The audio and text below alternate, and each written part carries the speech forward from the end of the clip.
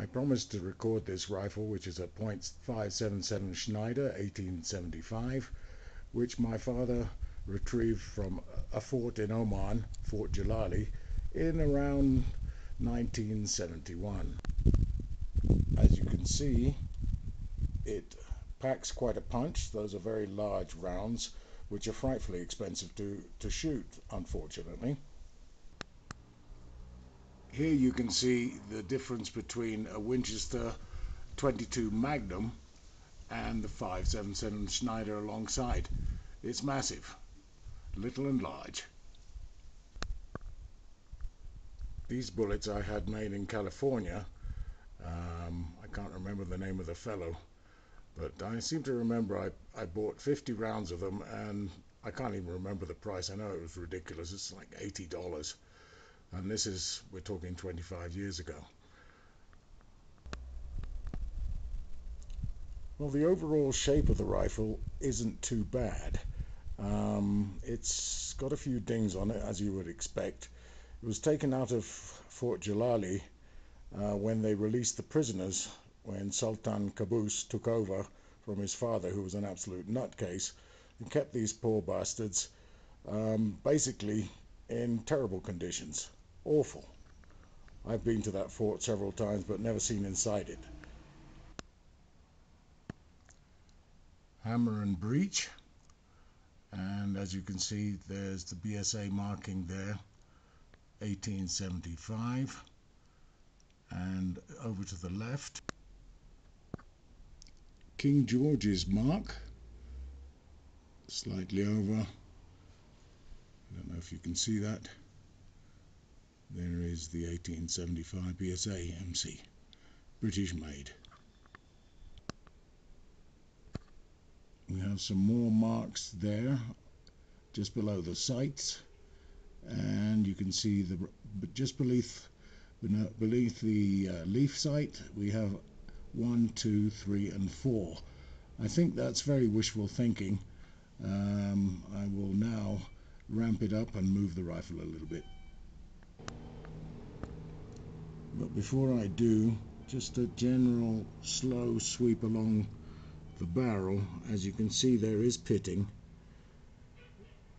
This fort was in Muscat, and obviously the, uh, the corrosion from the salt air hasn't done it any good. But I know that the inside of the bore is in very good shape. I'm going to try without getting this cord in the way. The camera shake there. First of all, to open the breech, you have to pull the hammer back. It has two cocks. One, two. So I'm going to put it on half cock and open the breech. Which isn't too bad to an ejector shell, you just pull back on this.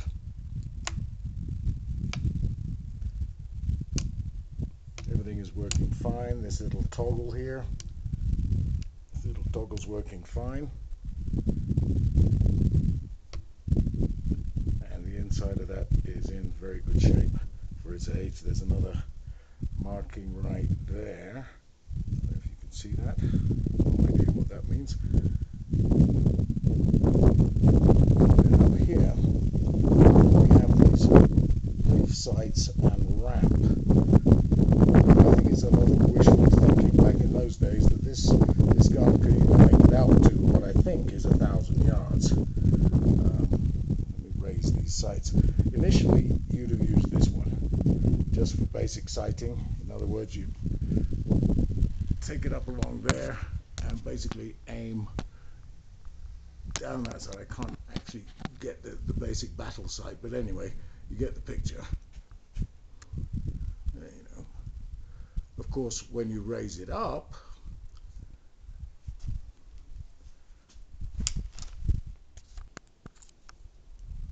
like so, then it's a whole different matter to get that front sight into the top there. You're like lobbing a grenade.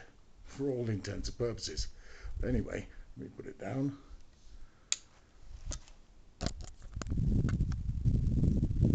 This part here can go up and down as well. It's very optimistic, extremely so.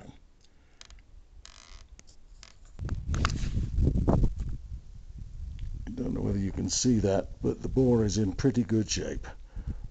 I've only fired it once, and that was by accident. Scared the living daylights out of everybody around us.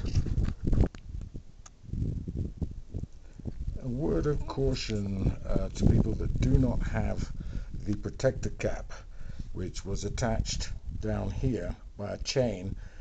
It had a cap on here, which my son's does. His is the full infantry rifle. This is the cadet version, which is trimmed out in brass on the trigger guard and also on the butt plate. There's no access port for any cleaning rods and I also have heard people asking for the cleaning rod which this particular model does not have but the infantry version does it slots in here and extends obviously out to the end of the longer barrel of the infantry version. I'm not sure if this was actually used just for uh, mounted soldiers or it was an officer's weapon. I have no idea. Um, Murphy's muskets might be able to tell me something about it. He's an authority on the, on this particular rifle. As for the dings, wear and tear of traveling around the world wherever I've been moving to. I'm not sure what to do with those. I'd like to use it again, but um, I'm a little bit wary until I have a, a full inspection done. And I'm I'm afraid that the 28 gauge shotgun shells that were recommended by Mr. Murphy are um, difficult to find here, I'm afraid, but they're easy to find in the United States some more assay marks there. And more dings. This thing's covered in proof marks and all the rest of it. As I say my son's gun is much better shape and one of these days um, I hope to fire it when I come up to the States. This is from Colombia I bid you a good afternoon.